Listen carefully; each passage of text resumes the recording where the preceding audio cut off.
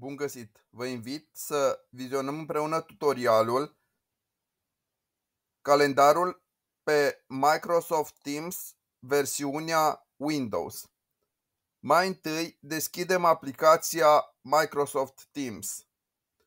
Când deschidem aplicația, în al treilea tab vedem că avem echipele, al patrulea tab avem temele, iar în al cincilea tab avem calendarul. Dăm click pe calendar.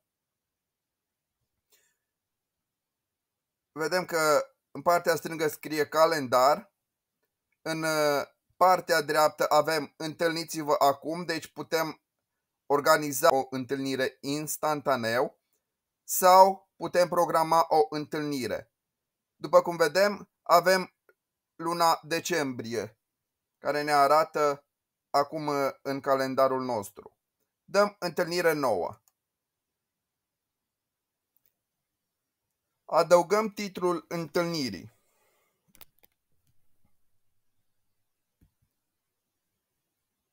Istorie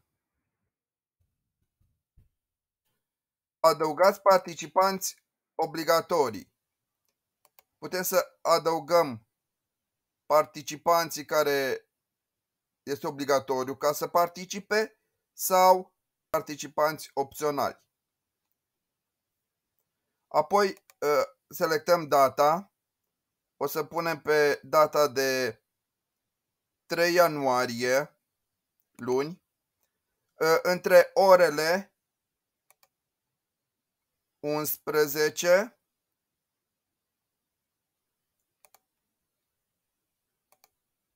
și 12.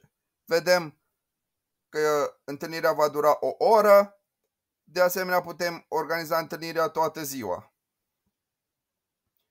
Putem organiza în fiecare zi a săptămânii, zilnic, săptămânal, lunar, anual sau personalizat, când vrem uh, noi să organizăm această întâlnire.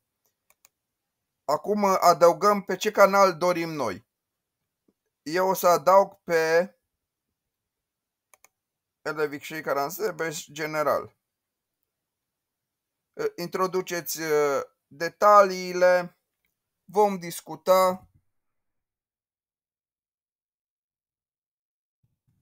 despre Marea Unire. Apoi dăm trimitere.